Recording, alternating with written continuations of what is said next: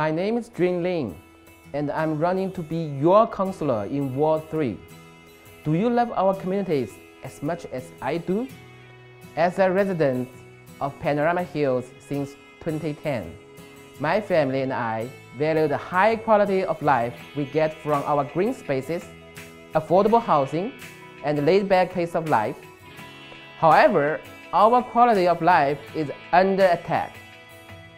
The Harvest Hills Golf Course redevelopment is one example of the threat to the green spaces we value so much. Like you, I can't help but wonder which green space is next.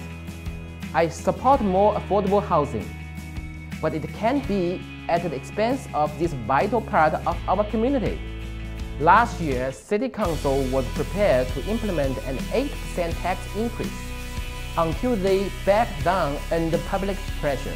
Do you enjoy being bribed with your own money? I know I don't.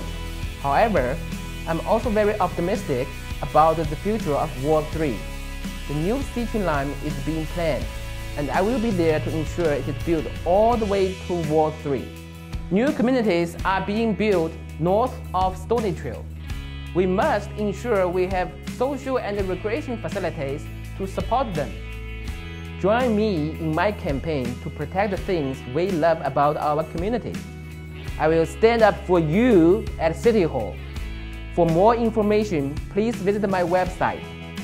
I look forward to hearing from you.